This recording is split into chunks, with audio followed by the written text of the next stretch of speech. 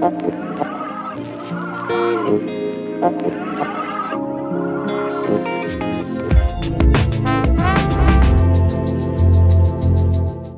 Buenas noches, bienvenidos a la entrevista aquí en Canal 6 Televisión y hoy hablamos del Camino Euraliense y hoy tenemos eh, a dos eh, peregrinas de ese Camino Euraliense que los días lunes, martes y miércoles hicieron tres de las etapas de ese Camino Euraliense. Nos falta una tercera, pero bueno, ahora, ahora hablaremos de ella.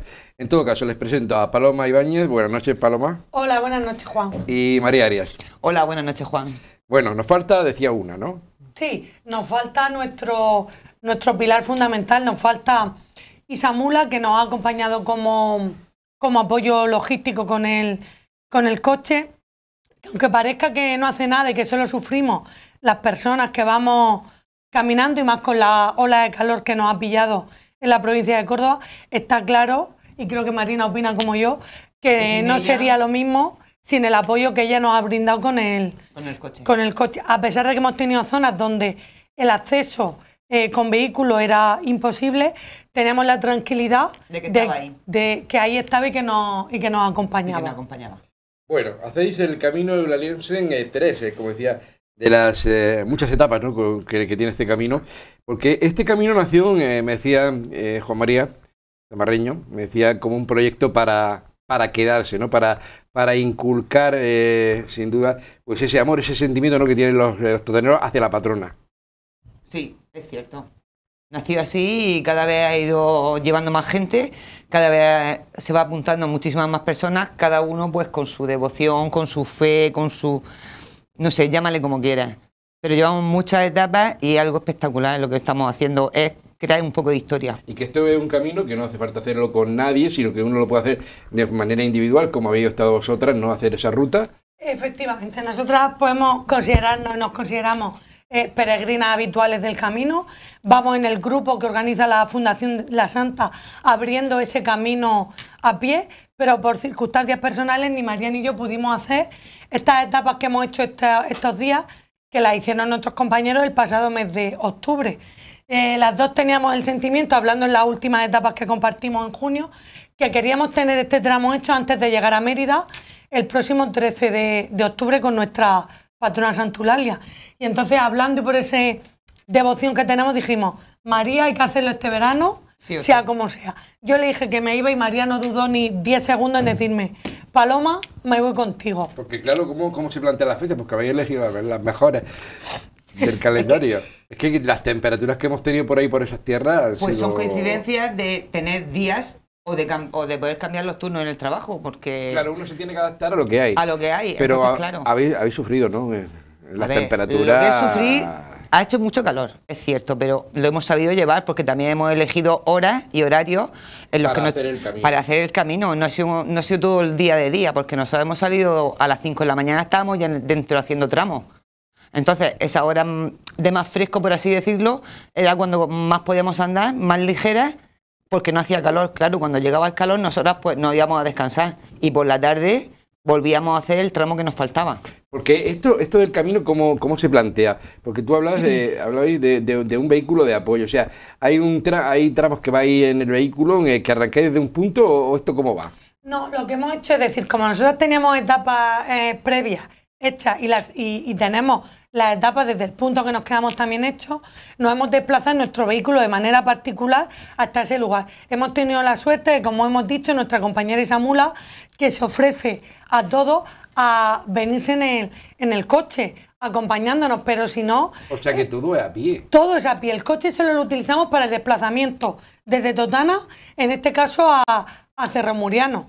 ¿Vale? Ya nos ha recogido en los descansos que hemos hecho, porque a las altas temperaturas podríamos haber descansado debajo de una encina. Sí, por supuesto. Pero está claro que, como dice, las temperaturas eran muy altas, teníamos que pensar en el cuerpo, en el que tampoco puede someter al cuerpo a esa presión por el calor y entonces decidimos irnos a los albergues donde hemos descansado a eso, a descansar, luego el coche de apoyo nos devolvía al lugar donde nos habíamos quedado. Pero que no es imprescindible el coche de apoyo, que es verdad que es un punto mm, que nos da vida, pero que no es necesario porque ese descanso se hace debajo de un árbol, descansas y continúa, continúa. hasta el día siguiente. Con Pues ya- una buena temperatura. Ya me, ya me había aclarado el, el- el concepto que tenía del camino, porque yo digo, digo, bueno, irán a un sitio y andarán tantos kilómetros, irán a otro, andarán tantos kilómetros. En total, ¿cuántos kilómetros son?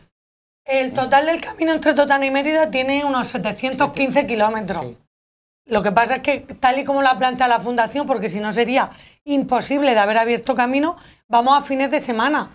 Pero pensar que el vehículo en el que nos desplazamos, el autobús, cuando ha sido un grupo grande, el, el autobús te deja en el punto exacto donde tú has terminado la ruta en las etapas anteriores. Entonces, ahí nadie te regala un kilómetro. Es decir, es sufrido, vivido y experimentado desde el kilómetro cero en el Santuario de la Santa hasta el 715 en la Basílica de Santulalia en Mérida, que si no pasa nada, como hemos dicho, el 13 de octubre ahí Estaremos estaremos. allí en el puente romano.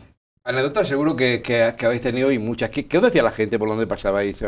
Pues muchísima gente nos conocía por las camisetas, porque íbamos con las camisetas y como son tramos en los que ya se han hecho el grupo de personas de los 80 o 90 que vamos andando casi siempre, pues claro, cuando llegábamos a los pueblos nos miraban y decían, sois los de Murcia, los del Camino Ulaliense, vuestros compañeros estuvieron aquí, entonces nosotros repetíamos que no había queda por hacer, pues como dándole un poco de... ¿Cómo te diría? No sé ahora mismo la palabra. Vidilla. De vidilla, de vidilla. Y, sobre todo lo que dice María, que yo creo que, porque es súper emocionante el vivirlo, que a ti te reconozcan por una camiseta, es decir, lo que a ti te dijo Juan María, esto ha venido para quedarse y nosotros, nosotras ver que esa semillita ya estaba y que era el haber decidido hacer el camino fuera de etapa con el grupo organizado por nuestra cuenta, nos mirábamos y decían, María, sí se puede, la gente puede venir, La gente puede no hacerlo". necesita que nadie te organice nada. Nosotras cogimos nuestros tracks, nuestro alojamiento y los sitios por donde pasamos. Es que hasta nos han ofrecido que si necesitábamos cena, comida, nos han dado teléfonos por si teníamos que llamar. Todos Es los albergues que había por los sitios nos lo ofrecían. Es que ha sido el llegar y que la gente nos conocía simplemente por las camisetas y por lo que ponían en la camiseta. Entonces, eso es un orgullo para nosotros, de llegar a un sitio que ya nos conozcan. tener en cuenta, ¿no? que os conozcan, que, que- Sí. que digan, oye, eh, hay una devoción impresionante en total hacia la Santa que hacen este camino uraliense. Un camino que me imagino que está trazado, está marcado, está señalizado. Sí, este camino está trazado, pero porque coincidimos en la me- desde Córdoba con el camino mozárabe a Santiago. Entonces, nosotros ahora mismo vamos haciendo ese trayecto, que en un futuro supongo que sea también trazado de Santa Eulalia, el camino de Santa Eulalia. Y por eso ahora mismo es como más fácil de hacerlo, porque es- un camino trazado y lleva todos los hitos y lleva todas las señalizaciones y no te, no te puedes perder. Creo que incluso han recibido algunas autoridades de algún municipio que otro. Sí, cuando llegamos a, a Hinojosa del Duque, que era nuestra última llegada, fue muy curiosa porque llegamos al ayuntamiento y Hinojosa empezaba esa misma noche sus fiestas patronales. Pues imaginaros el lío que tenían en el ayuntamiento, en la plaza. Y entonces un chico nos vio con las camisetas y nos dijo, ¿sois peregrinas? Pues sí, dice, pero no del Camino de Santiago. Dijimos, no, somos peregrinas del Camino Ulaliense. Entonces, este hombre había entrado nuevo como concejal de turismo, se interesó totalmente por el proyecto, nos dejó su teléfono, que lo que necesitáramos. Y entonces ya es verdad que hubo gente del mismo ayuntamiento que le dijo, si es que estuvieron aquí en octubre, ya, ya han pasado por, por aquí. Entonces, que él te reciba así en el pueblo de antes, en Villa Arta, la antigua concejal que ya no está en el cargo, también se acercó a saludarnos, a ver si necesitábamos algo. Que la gente así te, te reciba y te dé esa hospitalidad y, y ese sentimiento Es de muy emocionante. esto también es vuestro. Y nosotros lo que intentamos hacerle ver a la gente por la que pasamos es que ellos son parte del camino. Sus pueblos, sus municipios, sus habitantes, sus bares, sus albergues. Eso es lo que hace el camino. Entonces es verdad que nos hemos venido con un chute de, de energía tremendo. Que octubre queda de lejos. Ahora mismo.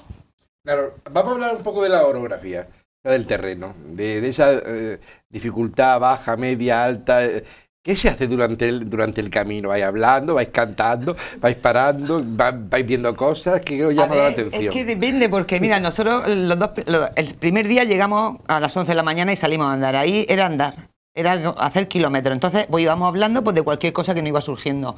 ¿Qué pasa? Que son tres días en los que dos personas solas en mitad del monte dan para muchísimo, ¿cierto o no? Claro, y, y otra cosa. Claro. Y ellos no somos amigas que tengamos que Una hablar relación. íntima. Decir, yo aparte me llevo este camino de estas etapas me llevo a María, sé que para siempre, como en el resto de etapas hemos conocido a gente que no conocía. Entonces, tienes a una persona en la que apoyarte y sin ser amigas, porque no somos amigas, hemos creado un vínculo y, y nosotras decíamos, estamos aquí porque Santulalia Ha querido ha juntarnos. querido juntarnos para siempre por algo, María. Y estoy súper agradecida a lo que he vivido con ella, porque es una experiencia que si en grupo grande es maravillosa, en pequeño Espectacular. nada, nada que envidiarle. Te digo, es que grande. salíamos a las 5 de la mañana andando, íbamos las dos solas y lo único que teníamos era un cielo estrellado en la sierra de, de Córdoba. Impresionante. Tú estás ahí con una, con una persona que conoces de aquí del pueblo. Hola, hola, buenos días, buenos días, ¿qué tal? ¿Cómo vais? Bien. Pero creas un vínculo muy especial. Es algo que has vivido con esa persona que yo, para mí, no se me va a olvidar nunca. Luego estamos viendo de diferentes lugares que, que podemos comentar eh, con vosotras, si os parece, de Sí. Sí. Sí. eh, lugares que habéis visitado y imágenes que nos van a pasar desde la redacción, eh, cuando queráis. eh. Pues mira, ese por ejemplo, que estamos viendo ahí, es uno de los hitos que va marcando el camino mozárabe, porque como bien ha dicho María, ahora mismo estamos por ese trazado. ¿Qué hacemos nosotros? Pues ponerle nuestro pañuelo de, de Santulalia, porque a la larga, como ya he dicho, queremos que ese hito no solo sea el del camino mozárabe de Santiago. Que sea también nuestro, lógicamente. Entonces, pues a nosotros nos- a mí me gusta esa foto con hay que está el camino de Santiago, pero con nuestro bañuelo de Santulalia. El objetivo Que se- vamos por utiliza donde vamos. y que todo el Claro. Efectivamente. llevamos. Eso fue en el Bacar, eso fue pues a, a dos horas de llegar a Cerro Muriano, ¿no? Sí, pasado Cerro Pasado- Muriano, pasado Cerro efectivamente. Muriano. Esto, esto es lo que os comentaba yo, si estaba el camino de alguna forma señalizado o había algún tipo de poste. Esto, esta fotografía que estamos viendo ahora, Estos son los hitos Los del hitos. camino. Entonces ahí te va, no se ve muy bien a lo mejor la foto, pero ahí te sí, va en la- la marcando pantalla lo, lo vemos perfectamente. los kilómetros que te quedan hasta Santiago, porque claro, son hitos del camino de Santiago, y los caminos que te quedan hasta el- los kilómetros que te quedan hasta el pueblo siguiente. En este caso nos quedaban ve- 27. Que son todavía kilómetros. Sí, ya llevábamos casi 10 o 10 kilómetros hechos esa mañana. Sí. Y es muy temprano, ahí también la, la mañana es muy temprano. Mochila en hombro. ¿El agua os faltó en algún momento? No. Pues no nos faltó porque somos unas previsoras. Somos muy previsoras. Pero esta foto, esta fuente, es la única que hay en el trazado porque, claro, este camino mozárabe no tiene la, el tránsito que puede tener el camino de Santiago en la zona norte de España. Pero esto es, un- un- es una aparición en el camino, un señor que de su finca ha sacado una, una fuente para los peregrinos que, que pasan por ahí. Aunque no nos faltó agua, es verdad, y estaba caliente por la Pero muy agradecido. pegando. Súper agradecida ahí que nos pudimos refrescar, mojar la gorra, hacer un descanso. Esa fue la salida y ahí podemos ver a nuestra A nuestra compañera Isa, del apoyo logístico. Esa es la iglesia de Cerro Muriano. Esa fue la primera foto de esta etapa. Nos puedes ver con la sonrisa deseando que estábamos de empezar a avanzar. La verdad, la verdad que, como decís vosotras, eh, se hacen amigos, se comparten experiencias, se visitan incluso monumentos. Yo creo que habéis tenido oportunidad de ver, ver cosas en la basílica también, lógicamente. Eh, es totalmente distinto a lo que tenemos en Totana, pero cada uno tiene su seña de identidad. Pero la basílica de dónde? De, de Mérida, de Santa Eulalia. No, no me he llegado todavía. Todavía no había Yo llegado. no he ido a No Mérida. había estado nunca. No. Y de hecho lo hablábamos como que iba a ser la llegada a, Mérida súper emotiva, creemos, porque ya no es por todos los sentimientos que acumulamos desde 2019, que estamos haciendo El etapas, camino. que empezó el camino ulaliense, sino porque vamos a llegar a Mérida, a un sitio, ya no solo a, a ver a la mm, imagen que representa ahí a Santulalia de Mérida, sino que como sabréis, nuestra patrona Santulalia también allí. nos va a acompañar. Entonces, que nuestra Santulalia de Totana sea la primera peregrina que vaya a llegar a Mérida, porque un grupo de personas ha decidido que se merece Eso. ese camino Cruzar de ese devoción y cruzar ese puente, eh, la emoción es que es indescriptible la- las palabras a, a utilizar. Entonces, eh, yo tuve la posibilidad en, en, mm, en las últimas etapas de junio de haberme acercado a Mérida a ver la basílica, el puente romano, pero no quería dejármelo para octubre para llegar con mis compañeros peregrinos Bueno, y con aunque- nuestra aunque- patrona. Aunque haya estado allí en Mérida, yo, yo, yo pienso ir. ¿eh? Yo pienso ir. Yo, yo, yo, yo, ya- yo más, más o menos tengo una idea de lo que aquello, os preguntaba, no sé si había estado antes, es algo totalmente distinto, porque cada uno tiene su identidad, pero que merece la pena. Vamos a hacer, si os parece, una pequeña pausa y volvemos después de la publicidad. No se nos vayan, vamos, vamos a la publicidad. Azurita, tecnología y comunicaciones. Todo lo que necesitas para comunicarte a la máxima velocidad. Conéctate a la fibra sin compromiso, sin permanencia y sin límite de descarga. Atención a nuestros precios. Internet y fibra óptica 100 megas por 17 euros mensuales. Precio final con todo incluido. También internet inalámbrico para zonas rurales. Te atenderemos personalmente en nuestras tiendas. Conéctate a la fibra. Conéctate al futuro con Azurita. Y después de la publicidad retomamos eh, la entrevista de hoy en Canal 6 Televisión con Paloma Ibáñez y con María Arias, eh, peregrinas del Camino Eulaliense, que de alguna forma van a contarnos, nos están contando sus experiencias eh, de ese camino que realizaron durante tres días hasta llegar a Mérida, que será el día del 12 al 15 de octubre. Y bueno, y que ustedes, si no lo han hecho, pues tienen la oportunidad como ellas de, hacerlo porque lo comentábamos en la primera parte de la entrevista, ¿no? que merece la pena. Han pasado por muchos lugares, eh, han visitado iglesias, eh, han estado en, albergues. Contanos esa experiencia. ¿Quién, empieza? ¿Paloma? María. Que... Pues cuando llegas a algún lo tienes que llamar previamente para ver si en los pueblos donde vamos, efectivamente, el albergue lo que no te puede arriesgar es a ir y no te nada reservado pero los albergues están espectaculares, de limpio, de completo, súper amables las personas que te lo dan las llaves del ayuntamiento, van a visitarnos por la noche a ver si nos hace falta cualquier cosa de comida, de bebida, algo. Ellos van siempre y nos visitan. Y luego, claro, en todas las, por todos los pueblos que pasamos, visita obligatoria de la iglesia donde tenemos que ponernos el sello en la cartilla, lógicamente. Ahí, ahí va yo, porque claro, hay que dejar constancia ¿no? de, que, sí. de que se ha hecho ese camino a los sellos. Tenemos... Eh, los sellos en imágenes, eh, ¿cuántos sellos son en total? Un pues, chorro. Imposible de contar, son muchísimos. Piensa que estamos hablando de un camino de, de 30 etapas, 700 kilómetros, donde pasas por muchísimos municipios.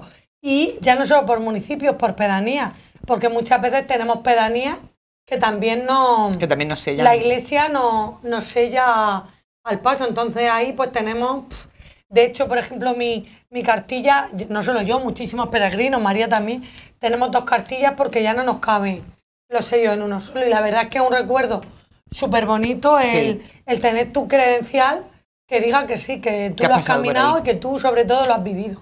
No es un sello específico, es un sello que identifica el lugar donde se ha sellado, bien sea una iglesia, bien sea un albergue, bien sea donde... Claro, un ayuntamiento también, hay veces que nos firman los ayuntamientos. Esa fue la primera noche que hicimos en la casa, de, en la casa del peregrino, el pueblo, y esta señora que está con nosotros en la foto es la que era concejala, que tuvo bien de, llevar, de ir a visitarnos y de ofrecernos pues todo lo que ella pudiera estuviese en sus manos. Después ella nos dijo que acababa de terminar de trabajar y en vez de ir a su casa a ducharse y arreglarse, pues fue a hacernos una visita para ofrecernos pues todo lo que estuviera en su mano para que no hiciera falta. Y, constancia por escrito incluso. Sí, porque este albergue que era el de, el de Villa Arta tiene un, libro de visitas. Todos los peregrinos que han tenido hasta este momento han sido peregrinos que están haciendo el camino mozárabe de, de Santiago.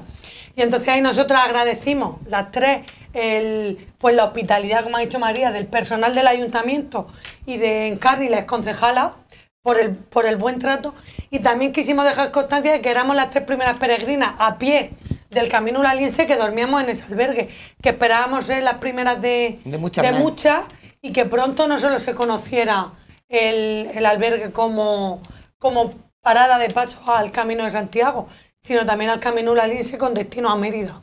Pues tiene que ser, tiene que ser una maravilla. Por las imágenes que estamos viendo, que nos pasan desde redacción, que están viendo los televidentes, tiene que ser una maravilla, ¿no? Ir con tu mochila, tu gorro, bien equipado, conocer gente, conocer lugares, hacer amigos que se hacen, eh, porque también comentábamos que ya el camino del aliense no tiene edad, eh, van desde críos muy pequeños con la familia hasta gente incluso mayor que le echa ganas y que anda. Sí, cierto. Claro, nosotros tenemos, el más pequeño, a Marco, nuestro peregrino más pequeño que estuvo aquí hace unos meses, y luego tenemos como peregrino más veterano y experimentado a, Modesto. Y en ese rango de edad pues te puedes encontrar gente de todas las condiciones físicas, mm, tipos, más devotos, menos devotos, más habladores, menos habladores. Está claro que lo importante es que en el camino ulaliense cabemos todos. Los cabezudos. Eh. Sí, los cabezudos es que cuando llegamos a. Esto es el pueblo que decía que estaba en fiesta. Exactamente, ahí en Hinojosa del Duque. Eh, cuando nosotros llegamos, pues la mitad de los accesos estaban cortados para llegar hasta el ayuntamiento y hasta la catedral, y es que estaban en fiesta, comenzaban ayer su pregón. Nos invitaron a quedarnos, nos ofrecieron su casa del peregrino, que es la foto anterior que se ha visto, con la piedra y el, y el concejal que conocimos ayer en, en el ayuntamiento, y ahí estaba, eh, sus fiestas son de gigante y cabezudo. Esta es la foto que te decía, esa es la- el- el- Es Agustín Romero, Agustín el Romero. concejal de turismo del ayuntamiento de, de Hinojosa, que cuando nos vio le sonaba y, y ahí quiso, es decir, nos dijo que estábamos invitados a quedarnos a las fiestas. Lo único que por motivos laborales, pues ahí es cuando terminamos la etapa, nos duchamos y descansamos, tuvimos que regresar, Claro. pero vamos, se notaba que la gente te, te acoge y te habla con, de la forma más sincera y, y ahí mira, el coche de apoyo siguiéndonos con Santulalia siempre presente. siempre presente. Claro, mucha gente que, que, que, nos puede estar viendo eh, eh, podrá pensar, eh, ¿podré hacer yo el camino? Yo creo que si lo ha hecho un chaval tan pequeño como el que comentaba y una persona tan adulta, yo creo que es cuestión de ponerse. Sí, Es cuestión de voluntad, de voluntad de querer, de querer hacerlo. porque nosotras hemos tenido, sobre yo estoy de vacaciones, pero María ha tenido que mover turnos en su trabajo para poder venir. A no ser que sea por un problema de salud No. grave y tal.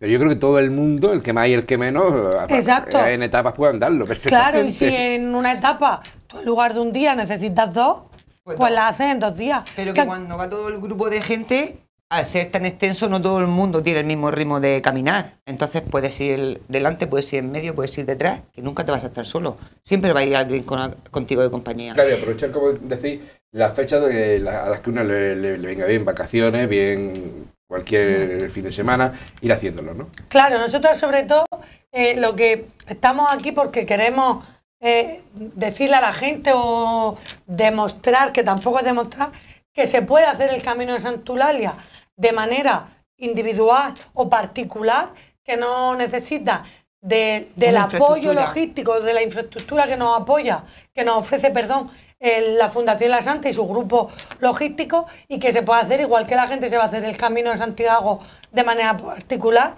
el camino de Santulalia también se puede hacer. Además, la Fundación tiene todos los tracks, te ofrece todas las facilidades de los tracks, teléfonos de contacto, para facilitar esa experiencia. Pero animamos a todo el mundo a que igual que deciden en las vacaciones de octubre, me voy a hacer 101 kilómetros del camino de Santiago, que los animamos a que esos 101 también pueden ser del camino Eulaliense. Claro, y con el tiempo, ya, ya de hecho ya, ya, empieza a ser un referente, pero con el tiempo eh, probablemente coja el mismo auge que tiene, por ejemplo, el Camino de Santiago. Está mucho, mucho más tiempo instaurado, eh, los muchos van a Santiago de Compostela, pero con el tiempo todo se andará. Porque yo le preguntaba a, a Juan María también en, la- una entrevista que tuvimos hace tiempo con él, bueno, tiene sentido, ¿no? El Camino Laliense tiene sentido eh, para la gente que va desde Totana hacia Mérida, ¿no? Que es la cuna de la mártir, de la patrona. eh, pero a la inversa podría ser posible, y dijo Igual. perfectamente. Igual. Incluso eh, con el tiempo, mucha gente de Mérida podrá hacer el camino a, a- A hacia- viceversa, claro, puede llegar a- desde Mérida hasta aquí es el mismo tramo. No hay, no hay otro, Y es que no se descarta, subida y me- me bajada, y que no se descarta. Porque igual de fácil es subir que bajar el mismo tramo. Y lo mismo podemos nosotros recibir gente aquí en nuestro santuario que en Mérida nos pueden recibir a nosotros. Estaríamos encantados de que alguien lo, decidiera hacerlo al contrario. Lo cierto y verdad es que se está trabajando y mucho, ¿no? Desde la fundación, porque ese culminar el camino del 12 al 15 de octubre pues sea todo un acontecimiento y que lo va a ser. Sí, muy grande. Yo creo que va a ser algo que va a hacer un poco de historia aquí en Totana. Y para todos nosotros culminar ese camino que nos ha costado muchísimo trabajo porque son muchos días y para toda la organización que lleva en la cabeza todo lo que tiene que mover y todo con quien tiene que hablar, permisos y demás, yo creo que va a ser un logro, no sé, fuera de serie. Claro, lo- los emeritenses eh, van a conocer una forma distinta, ¿no? De devoción a la, a la patrona, porque nosotros tenemos nuestras costumbres, nuestras Sí. tradiciones. Vamos a ir acompañados de, de grupos de música de, de la ciudad, van a conocer nuestro, nuestro demostrarle a la santa la- la- lo que la queremos. eh, que como yo digo, ni mejor ni peor, distinto. Distinto. Pero que yo creo que va a ser flipante aquello. Sí, yo creo que va a ser, como ha dicho María, algo histórico porque tenemos que pensar que por primera, por primera vez la imagen de Santa Eulalia de Totana va a llegar a Mérida.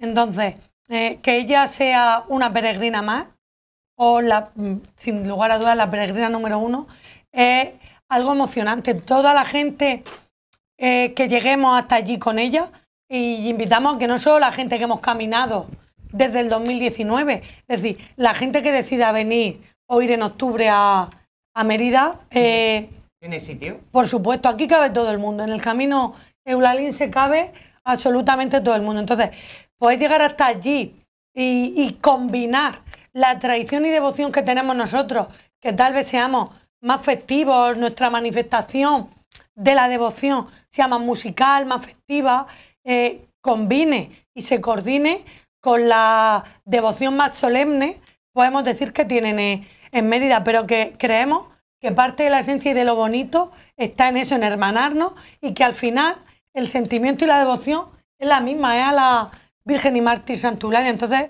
eso va a ser espectacular. Yo digo que no, no va a dejar indiferente a nadie. Mm.